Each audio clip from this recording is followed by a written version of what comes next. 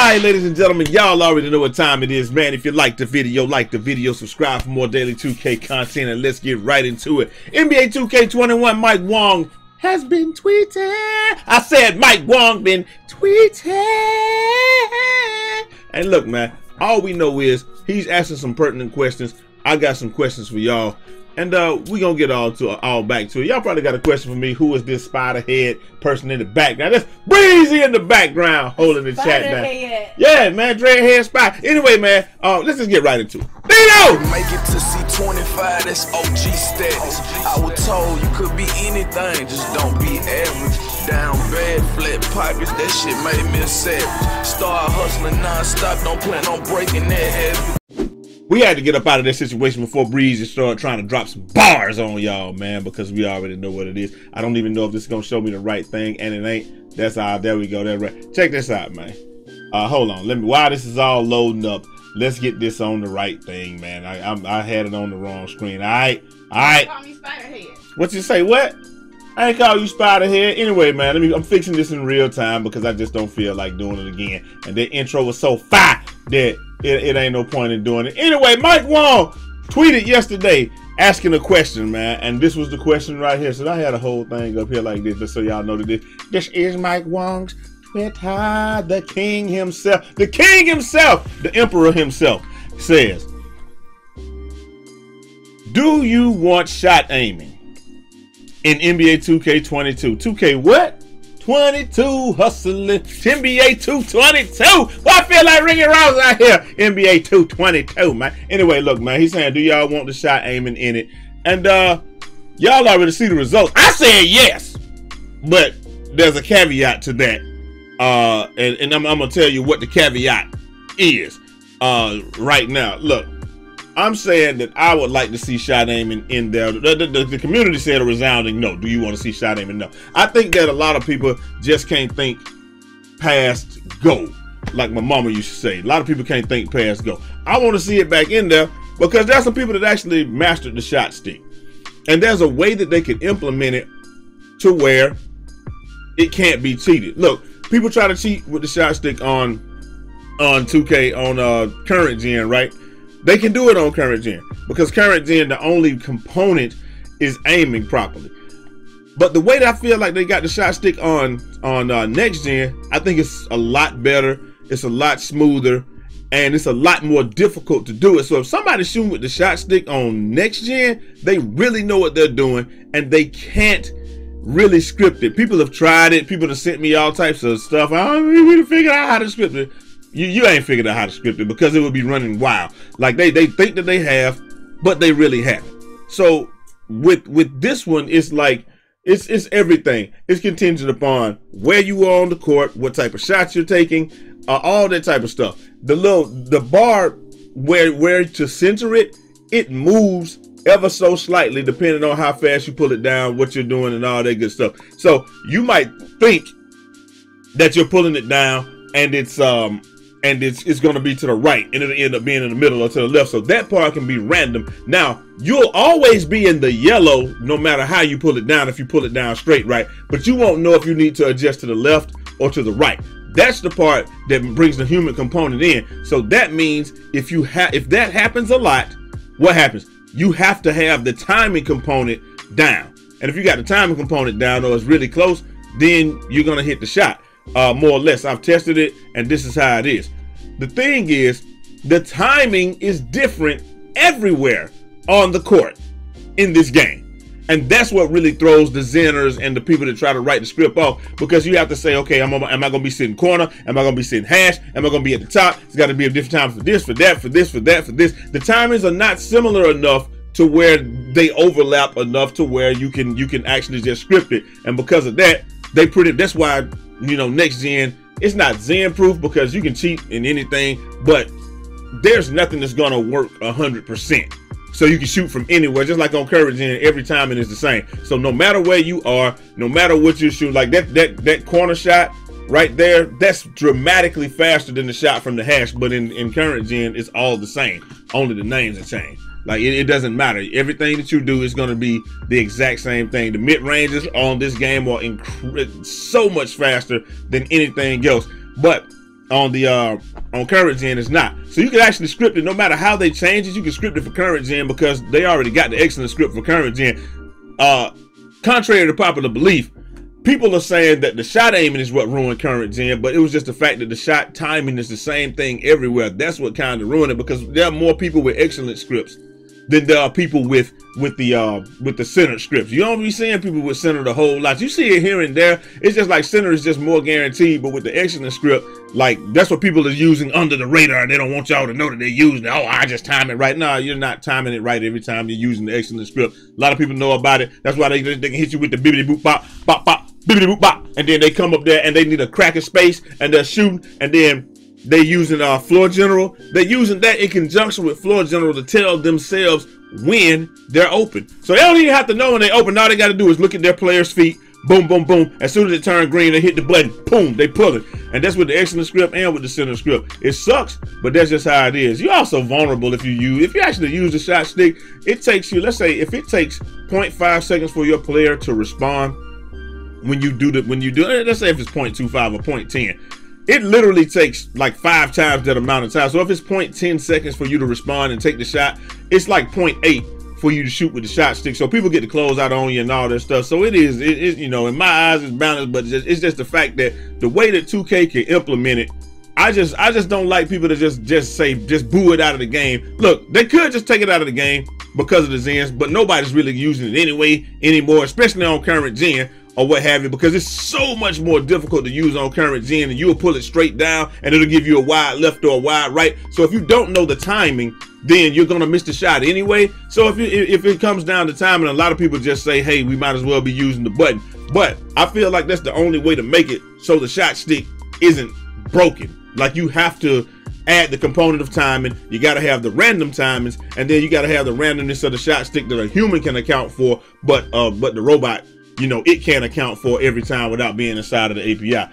So with all that said, I mean, yes, but if they don't want to do that much work, then they might as well just leave it out of the game. And then uh, Mike also says, Woo, look at that boy climbing that ladder right there. Mike also says, on a related note, a hot fix uh, for Zen aim cheating will be will hit current gen uh, via hot fix early this week or what have you. And and I'm like, you know, um, we wouldn't even be down to this if if people would just listen to me. If like if the developers would just watch my videos and listen to me when I tell them things. When the when the shot stick first came out, I did a video on it and said I'm gonna use the shot stick. I'm gonna try to use this thing and we're gonna see see what happens. I was in the workouts just shooting, and I'm like, yo, you don't have to time your shot. This is gonna be a problem. People are going to script this, and it's gonna be bad because I was like, yo, I can move it to the same spot every time. There was no movement, there was no nothing. And I was like, I could already tell that that, that was going to be a problem. Little did I know that the timing for every shot was the same, so that was going to be a problem also. I didn't I didn't know that at the time. But we do now, and we know that's going to be a problem also. But unless you change both of those things, it's not going to matter. But I already said it was going to be an issue right off the bat because there's no human element to it. You could just, we had already gotten to the point, where's my controller? We had already gotten to the point, we already knew if you pull it here, like you can't pull it straight down, you had to pull it down and to the right a little bit. So about, instead of six o'clock, at five o'clock is where you had to pull it. And you're to be almost in the perfect spot every time. I already had known that from from the very first time of using it, uh, you know, right in the first the first couple of seconds of using it in the uh, demo or the prelude or whatever they had. I'm shooting all types of shots. It didn't matter what type of shot I was shooting. I could shoot faders. I could shoot uh, regular shots. None of it mattered.